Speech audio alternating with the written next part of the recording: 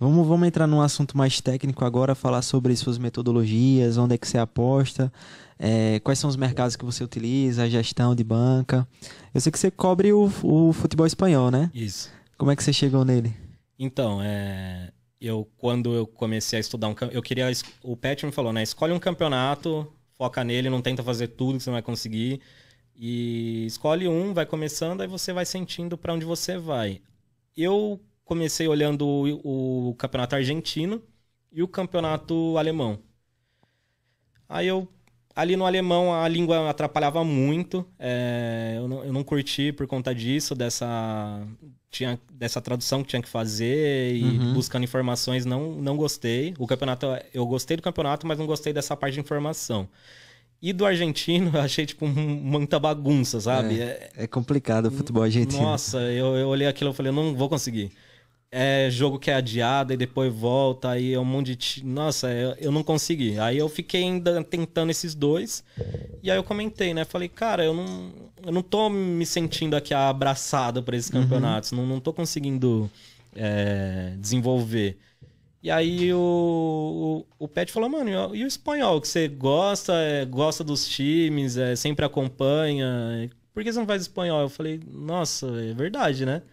E aí, só que, sei lá, é aquele negócio assim de. igual o Brasileirão. Brasileirão a gente vive o Brasileirão, né? Sim. Então, eu queria ir para uma liga que, que fosse um desafio assim de eu não conhecer. E por isso que o espanhol não tinha passado na minha cabeça. Só que quando ele falou espanhol e eu fui pesquisar, eu vi que eu não conhecia 100%, assim. Eu, eu ia acompanhando recreativamente. Mas nem sei se essa palavra existe, mas eu ia acompanhando ali de vez em quando, sabe? E aí quando eu fui estudar e eu vi as fontes de formação, é, a, ESPN cobre, então tem a parte jornalística, é, a língua é mais fácil e tem muita informação em português. Sim. Eu, eu falei, não, vou tentar. Aí quando eu fui meio que ver o campeonato, o que estava rolando, aí eu me apaixonei. Por exemplo, o, eu falo assim que o, o campeonato me escolheu. Eu fui ver a tabela de jogos, é um jogo por horário. Então a, rodada começa às 9 da manhã no sábado. Aí acaba 11h15, 11h30 começa o outro. Aí acaba uma e pouco, duas horas começa, sabe? É um jogo por horário, um negócio mais organizado. As equipes são boas e, e eu gosto mesmo de assistir. Então, eu precisava de um campeonato que eu curtisse assistir os jogos. E, e foi assim que acho que o campeonato me escolheu, sabe? Aí eu falei, cara, é isso. E fui indo, comecei bem. E agora não largo mais, não. É, muito massa. Você faz a segunda divisão também? A segunda divisão não faço. É, é um projeto que, que eu tenho, mas eu quero me adaptar assim 100% mesmo. É, quero focar 100% na, na primeira. Na primeira e aí mais para frente expandir para a segunda. Não pretendo assim fazer, não vou dizer que não, mas não pretendo ir para outros países, outros campeonatos. Eu gosto muito ali do Campeonato Espanhol, mas eu quero primeiro estar tá 100% ali na, na primeira para depois ir para a segunda e quem sabe para as outras. Bacana. Eu perguntei porque eu tô cobrindo a segunda divisão da Espanha, eu tô estudando, acompanhando. Eu vi que vai continuar mesmo durante a Copa do Mundo, é uma competição que vai continuar rolando. E eu tava tentando entender por que é que vai, a maioria vai parar e o, a segunda divisão da Espanha vai continuar para mim é o nível técnico, talvez, porque são jogadores que não são convocados para a seleção, um nível técnico mais baixo do que as primeiras divisões e vai continuar rolando por conta disso. Inclusive, tem um time lá que está surpreendendo muito, que é o Burgos. Não sei se você já ouviu falar. Tá em primeira, é, né? Tá em primeira, é. na, na segunda divisão. E eu queria saber de você, como é que tá a primeira divisão? Tem algum time que pode surpreender, que está surpreendendo por lá, cara? Cara, é, todo mundo apostava no, no Vila Real esse ano, porque eles foram muito bem na Champions passada, né? E Sim. todo mundo no começo do campeonato tava colocando o Vila Real ali no, no G4. É, mas não, não se consolidou. Eles caíram muito de produção. E eu acho que o que tá mais surpreendendo é o Atlético Bilbao. Ele, ele, ele tá ali na, na ponta de tabela, que, que é um time que, por exemplo, se você for montar a, a monta a tabela da La Liga. Você não vai colocar Bilbao em quarto, por exemplo. É você verdade. vai colocar ali Real Betis, Vila Real, Valência, Sevilha. Você não vai colocar o Bilbao ali. Então eu acho que é um time que está surpreendendo bastante. É, tá rendendo uns greens bons aí. E acho que o Bilbao tá, vai, vai acabar ali classificando para alguma competição europeia. E infelizmente o Vila Real, que é um time que eu simpatizo demais, tá acho que em oitavo agora. E só a ladeira abaixo, tá, tá difícil ali. Um time caras. que tá mal também é o Atlético de Madrid, né? Não sei se dentro do Campeonato Espanhol, mas pelo que eu vi na Liga dos Campeões, não ficou, né? ficou em último. É. Venceu um jogo, eu acho que foi o Porto na primeira rodada. E venceu com um a mais, tava com um a mais e com um gol no finalzinho. O que, que tá acontecendo com o Atlético de Madrid, cara? O Atlético de Madrid é isso. É, o que você vê na Champions é o que ele faz no Campeonato Espanhol. Só que como no Campeonato Espanhol, às vezes ele pega uns times com um nível técnico muito menor, A diferença técnica é alta, né? é, ele consegue ali sempre estar na- nas cabeças. Mas o Atlético de Madrid é um time que ele sempre faz o contrário do que você espera. Ele vai jogar com lanterna. Ano passado eu tomei um head com o Atlético de Madrid que era impossível. Acho que era o Levante, ele tava, sei lá, 20 jogos sem ganhar. E aí o handicap pro Atlético tava no, no mais 0,75, um negócio assim. Eu falei, cara, não vou nem, nem, né, vou na fé aqui.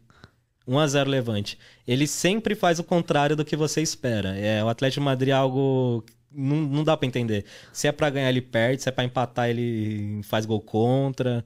É, é um time, assim, que não sei. O Simeone é- ele é meio doido. A torcida abraça ele. Então, eu acho que é aquele caos que, que rege ali o Atlético. Que acho que a torcida gosta. E assim vai ser por muito tempo. Porque é um time meio maluco mesmo.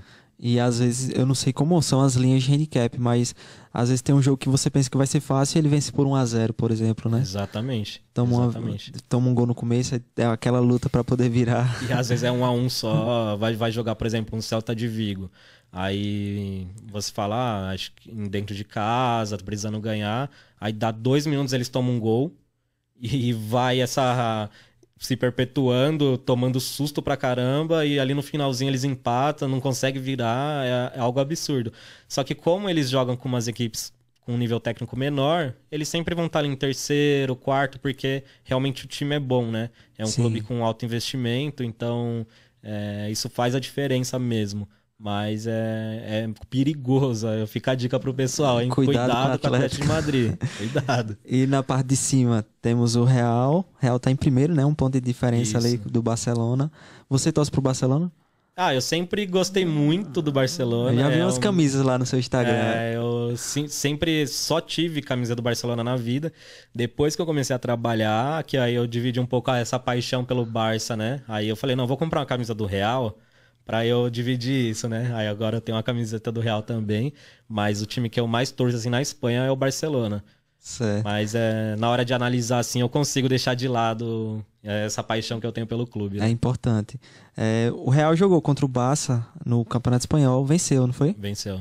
No amistoso perdeu lá no início da temporada, É, mas aquele gol do Rafinha, né? O Rafinha estreou bem ali. O Barça levou o amistoso, mas na, na La Liga esse ano já perdeu. Como é que estão esses dois times? Se você pudesse dizer o Real tá melhor, é melhor do que o Barça, tá muito distante, como é que estão essas coisas? Eu, eu vejo. O Real Madrid ele manteve a base né, da, do ano passado, ele foi campeão da La Liga e, do, e da Champions, manteve a base. É, o Casimiro que saiu, que era uma peça fundamental, mas o, o Real Madrid é algo surreal, né? Eles trazem o Chouameni para ser banco do Casemiro, o Casemiro sai, o Chouameni entra e parece que joga lá faz cinco anos. É, os caras, eles são sniper, assim. Traz um cara que... é, não sei se eles já sabiam desse, dessa vontade do Casemiro sair, mas é, é surreal, assim, o jeito que o, que o Real Madrid rege ali o time, né? E é um time tá Diferente do Barcelona, que é só cada Aí contratação Barcelona- absurda. É, então. Aí a gente vai pro Barcelona, é... não é só futebol, né, cara? É- é- O Barcelona, ele. Esse ano, olha o tanto de jogador que o Barcelona trouxe para ser titular. Na Champions machucou mais da metade.